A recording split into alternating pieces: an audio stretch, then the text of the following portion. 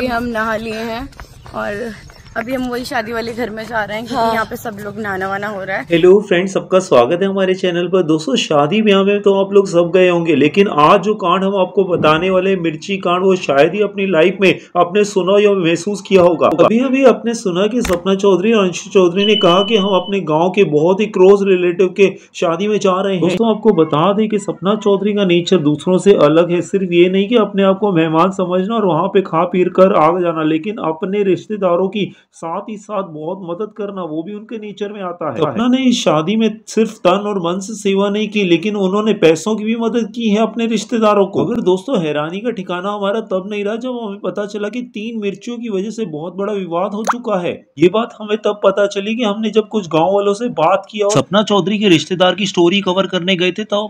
हमें यह बात पता चली। दोस्तों, इससे पहले कि पूरी बात आपके सामने रखी, वीडियो को एक लाइक कर दीजिए और चैनल को अभी सब्सक्राइब कर ले बेल आइकन के साथ, ताकि सपना चौधरी की लेटेस्ट अपडेट आपको मिलती रहे। दरअसल आपको बता दें कि गाँव वाले सपना चौधरी और अंशु चौधरी को बहुत ज़्यादा मानते हैं। जैसे कोई शादी में, अगर नॉर्मल शादी में कोई स्टार्स आ जाए तो आप सोच सकते हैं कि वो लोग कितने ज़्यादा खुश होते हैं। इसी तरह से उनके गाँव वाले भी बहुत ही ज़्यादा खुश हुए, जब सपना और अंशु उनकी शादी में पहुँचे। सबने मिलकर बहुत ही भव्य स्वागत किया अंशु और सपना का। दोस्तों भले आप हो या हम हो, हम शादी में एक ही चीज़ एक्सपेक्ट करते हैं कि खाना बहुत ही स्वादिष्ट होगा और साथ में डेजर्ट्स भी मिलेगा हमको आइसक्रीम दोस्तों, इस शादी में जब लोग मेहमान बनकर आए तो उनकी हैरानी का ठिकाना तब नहीं रहा जब उन्होंने खाना खाने गए तो उस खाने में बिल्कुल नमक ही नहीं था। साथ ही इस शादी का खाना खाकर कुछ लोग आग बबूला हो गए।